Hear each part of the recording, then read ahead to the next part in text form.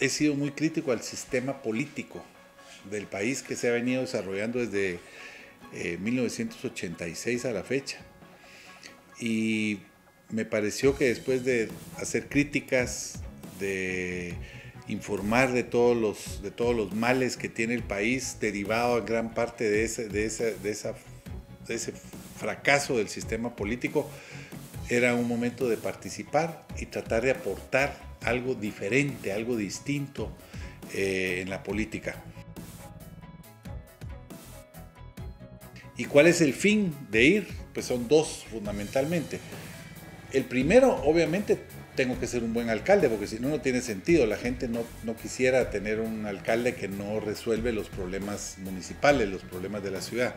Pero dos, para demostrar que se puede hacer diferente eh, el trabajo como servidor público.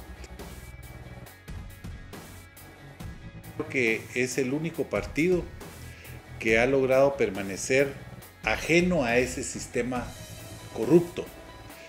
Eh, Después conozco mucho la trayectoria de Ninés Montenegro, de hecho la conozco a ella desde 1984.